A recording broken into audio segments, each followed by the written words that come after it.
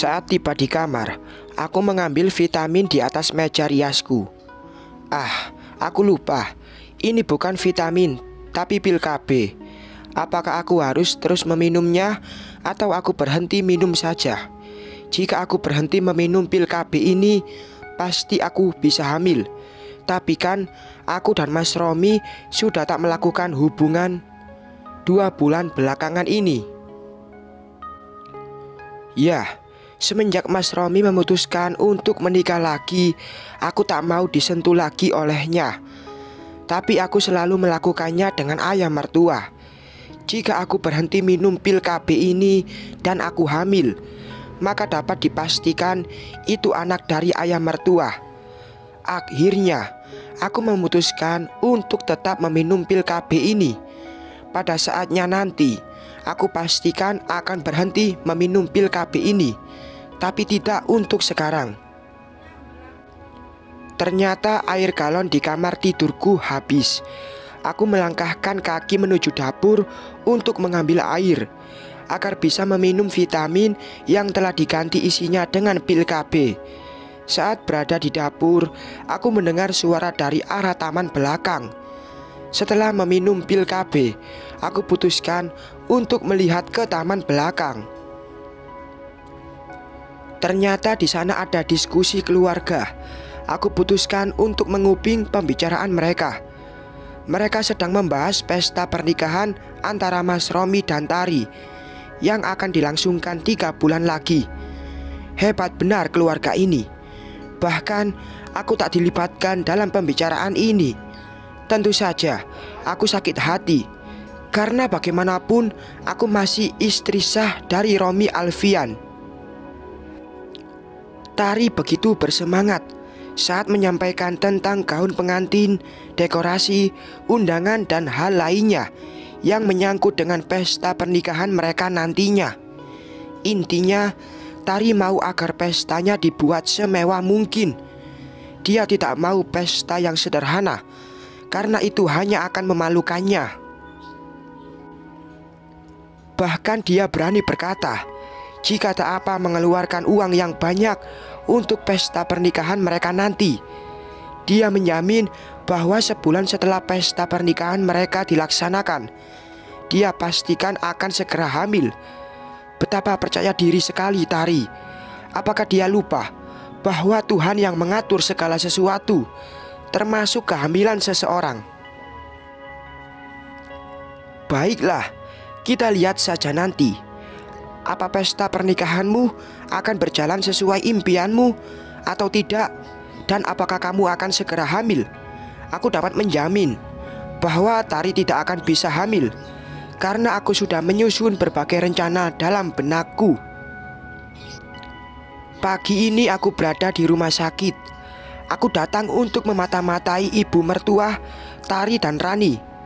Semalam aku mendengar bahwa mereka ingin memeriksakan keadaan Tari karena akhir-akhir ini dia sering pusing dan mual.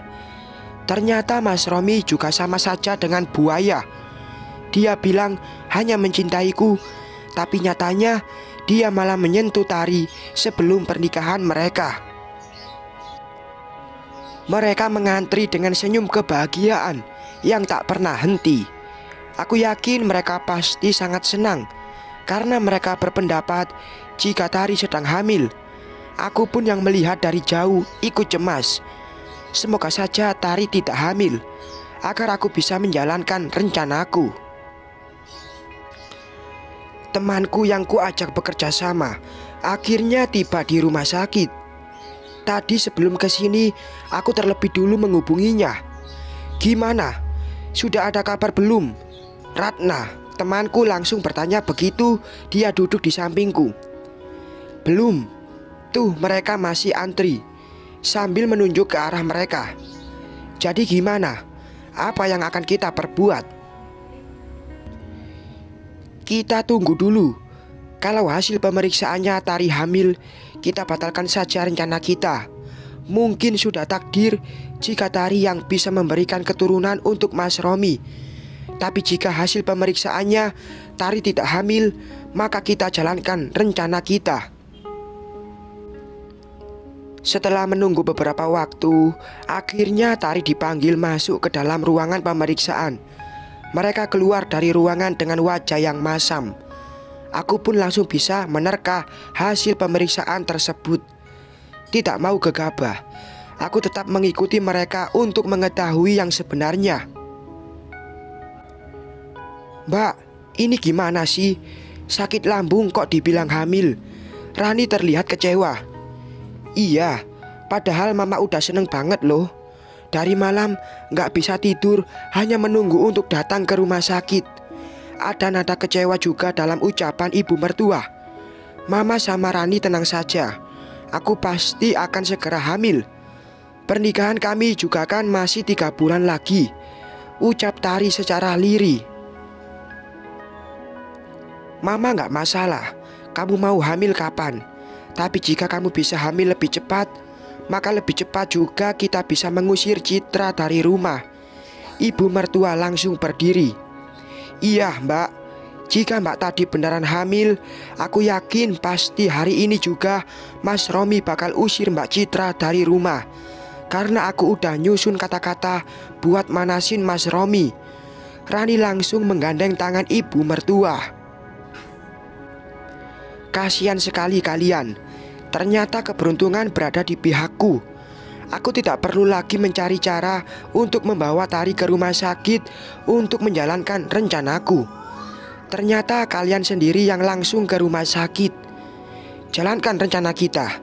Ku kirimkan pesan untuk Ratna. Saat mereka akan melangkah keluar, Ratna yang sudah melakukan penyamarannya menjadi dokter memanggil mereka. Saat aku lihat ke arah Ratna, aku pun tak mengenalinya. Penyamaran yang sempurna. Aku yakin tidak akan ada yang mengetahuinya. Kulihat mereka bertiga berjalan menghampiri Ratna. Entah apa yang mereka perbincangkan.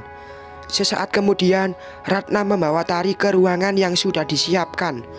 Saat Tari kembali, mereka bertiga langsung keluar dan menuju tempat parkir. Aku pun langsung menuju ke kafe merah untuk menunggu Ratna. Sepanjang perjalanan aku terus tersenyum. Aku sangat bahagia karena rencanaku berhasil. Senyum-senyum aja dari tadi kayak orang gila. Ratna mengagetkanku. Itu artinya sahabatmu ini sedang bahagia. Iya deh, yang rencananya berhasil. Gimana tadi sampai mereka percaya sama lu? Gue bilang aja untuk melakukan pemeriksaan ulang karena tadi ada kesalahan. Mungkin karena mereka sangat berharap si Tari itu beneran hamil ya. Mereka menyetujui aja. Terus gimana? Begitu di dalam ruangan, gue pura-pura periksa.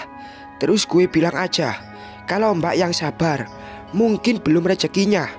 Tapi kalau mbak mau, saya bisa menyuntikkan obat kesuburan untuk mbak. Saya yakin pasti bulan depan langsung hamil karena sudah banyak yang mencobanya. Dan dia mau, ya maulah. Bahkan dia terus tersenyum kayak lo tadi. Seandainya dia tahu kalau obat yang gue suntikan itu untuk mengeringkan kandungan agar dia tak pernah hamil, pasti dia bakal diri. Ternyata ada baiknya juga lu pernah kerja di klinik ilegal. Kami berdua pun langsung tertawa lepas. Setelah selesai makan, kami berdua pun langsung pulang. Aku mengucapkan terima kasih dan memberikan imbalan, tapi Ratna menolak. Bersambung